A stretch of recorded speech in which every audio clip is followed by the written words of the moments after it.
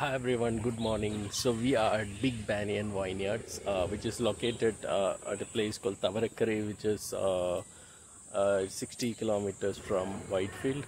So let me show you this place. Uh, so this is the restaurant uh, which is called Ranch. We'll be going to Vineyards. We have a reservation here. So let me, Kavya, do you want to say a few things about Big Banyan? So hey guys, this is Kavya here. So we have finally reached the Big Banyan Vineyard after two long hours of drive. So if you guys are in Bangalore, if you're residents of Bangalore, uh, you guys can actually come over here for the weekends because it is actually peaceful. And uh, you know you can you know get out of the Bangalore chaos and hustle for like at least two days. And they even have uh, resorts here. So uh, they have luxurious cottages and all, so you can uh, have a good stay here. But do you know why this place is called Big Banyan Vineyards? It's because they actually have a massive big banyan tree which is around 400 years old and it spans around 3 acres of land and uh, it's actually quite uh, near from here but you have to go I, th- I think 4 uh, minutes from here. But you know what the main feature of this place is? It's nothing but wine. So if you are a wine lover, uh, you can, you know, taste, see, and even explore how wine is made and processed. So let's go ahead. Yep. Yeah. Uh, so guys, we have just started from here. Uh, we are on our way to reception. Uh, let's check if the wine tasting session is already started or not. Yeah. So hope you can see. Oh, you can see this uh, place is well maintained. Yeah. And by the way, we are 10 minutes late. Our reservation was at 11 a.m. Uh, we don't know if it's already started or not. Uh, so hold on, guys. Let's go and see.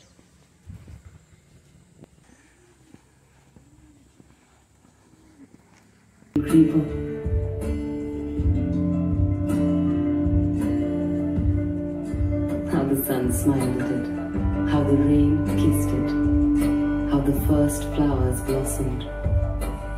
It will tell you of a time when it saw the light of day first, and the hundred odd sunsets and sunrises that came after.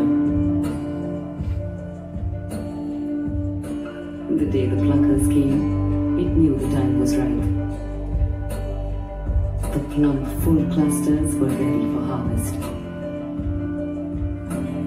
It was gently brought into the vintner's care.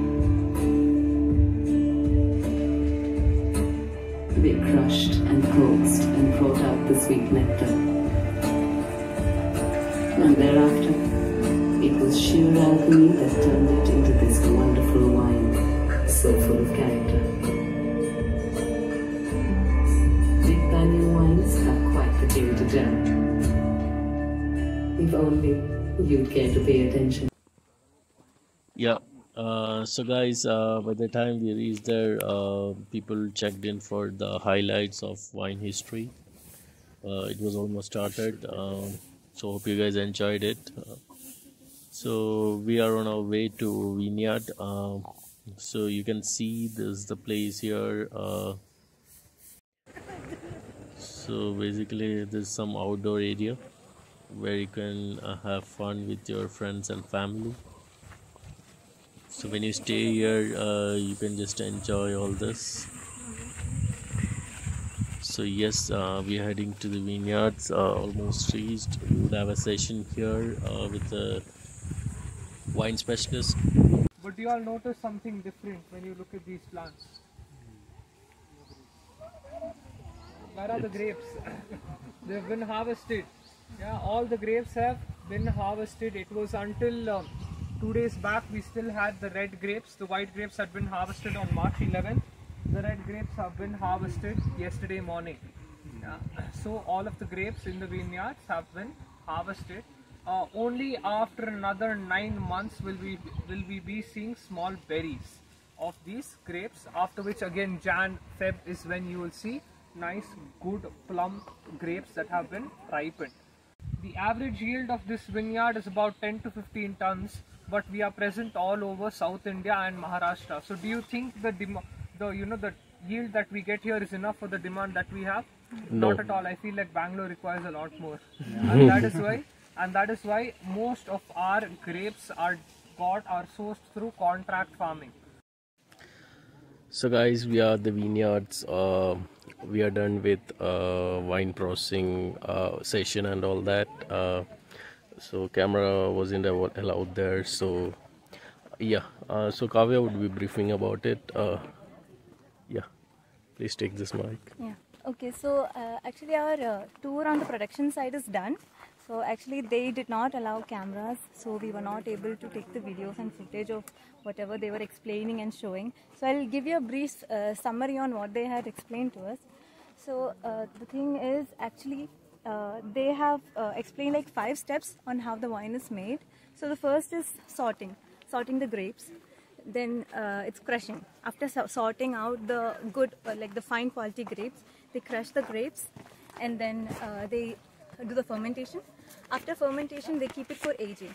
So uh, they keep it for aging for um, for around four years. So after that, what they do is they give it to the bottling side of it. So they bottle it and then they give uh, labels.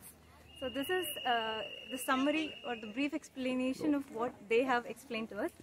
So these five steps. So they have taken us here to a room uh, where, where they said that uh, they're going to let us taste the wine.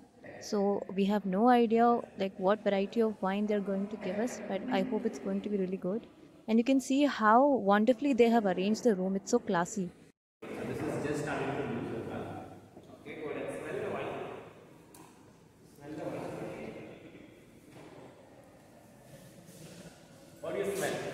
This is definitely smokier than the previous one. Yep. Anything else? Anything else?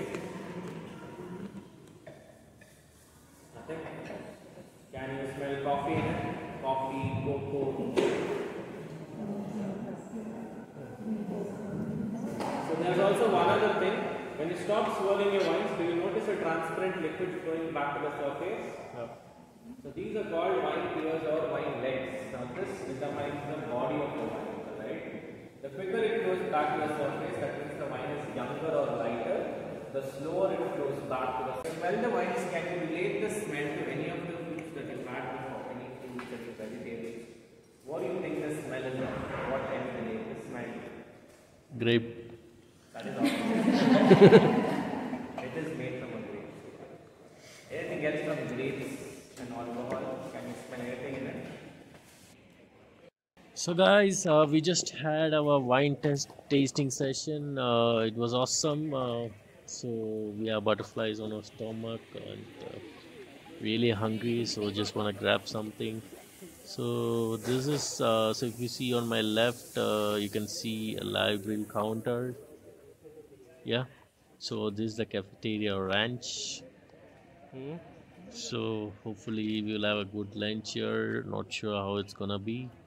So we'll get back to you guys on this. Yeah, catch you. So guys, uh, after our wine tasting, uh, we had our lunch. Uh, we had a special buffet here, uh, which was made on reservation. Uh, so we'll be making a move right now. So hope you guys enjoyed this video. Please like, subscribe.